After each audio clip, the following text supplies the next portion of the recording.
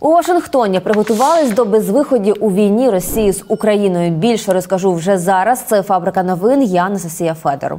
Отже, перебіг війни в Україні ймовірно зміниться найближчим часом. Про це пише The New York Times із посиланням на джерела у владі США та військових експертів. З даними журналістів, Росія зміцнить оборону на зайнятих територіях і Україні буде складніше відвоювати втрачені землі. Тому наймовірніший сценарій другого року війни.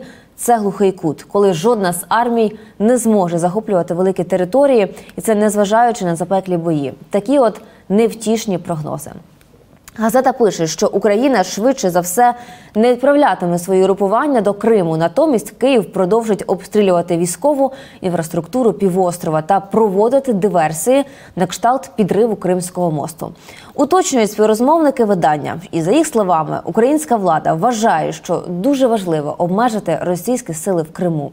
Українські сили також продовжують дотримуватись тактики, яка раніше допомогла вибити росіян з півночі. Тоді, за допомогою американської розвідки, українські військові виявили слабку оборону окупантів та завдали по них удару. Наразі збройні сили продовжують шукати слабкі місця в обороні російської армії за допомогою даних американської розвідки. Однак таким чином. Зараз можна здобути скромніші перемоги, вважають співрозмовники газети у владі. Також видання акцентує, що однієї лише здатності Києва завдавати ефективних ударів по російських та логістичних шляхах буде недостатньо, щоб змусити російські війська відступити з окупованих територій. Невеликі прориви українських сил у найближчі кілька місяців навряд чи призведуть до масштабного розгрому російської армії, кажуть урядовці у Вашингтоні. Але Росія навряд чи досягне серйозних проривів. З іншого боку, російське військове командування починає вчитися на помилках, зроблених на початку війни, вважають у США.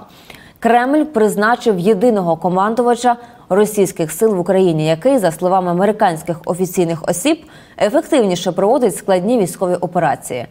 До заслуг Сергія Соровікіна співрозмовники газети відносять відступ з Херсона та використання під час повітряних атак ракет без боєприпасів, що дозволяє спантеличувати українські ППО. Зміст з позиції Росії на фронті поява у військах 300 тисяч мобілізованих. Якщо сформовані з них частини не постраждають у ході холодної зими, та навесні ці підрозділи можуть стати серйозною військовою силою. Однак не все так погано, друзі.